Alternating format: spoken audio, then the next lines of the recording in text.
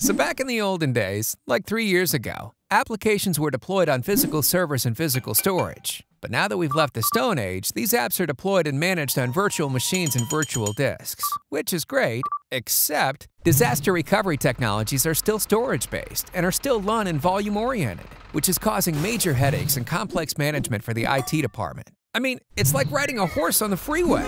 What if there was revolutionary technology that took disaster recovery from the storage level and moved it up the stack into the hypervisor? Say hello to the revolution.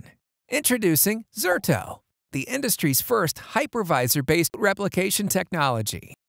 This software only solution offers enterprise class continuous replication and is completely VM aware.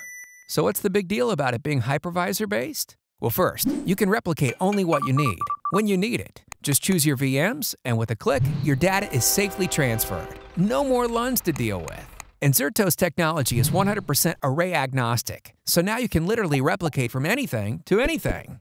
Zerto allows you to group all the virtual machines of an application together and replicate them consistently, recovering the whole application instantly. So you can protect and recover applications, not just data. Oh yeah, and this is only the tip of the iceberg of what Zerto can do. Zerto, enterprise class DR for a virtual world.